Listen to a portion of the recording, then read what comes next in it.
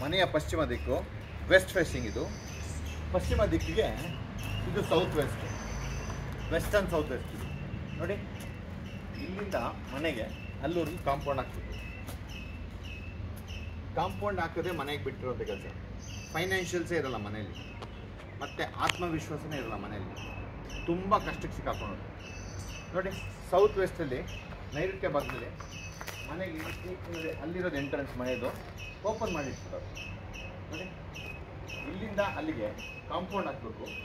Compound ಹಾಕಿ ಮಣ್ಣು ಹೈಟಾಗಿ ಹಾಕಿ ಇಲ್ಲಿಂದ cover ಮಾಡಬೇಕು.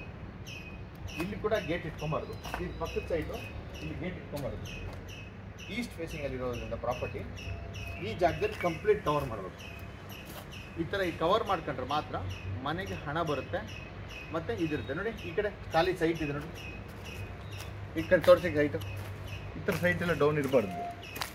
ಇದು ಬೇರೆ ಸೈಟು ಇದು ನಮ್ಮ ಸೈಟ್ ಇರೋದ್ರಿಂದ ಈಸ್ಟ್ ಫೇಸಿಂಗಲ್ಲಿ ನಾವು ಇರಬೇಕು.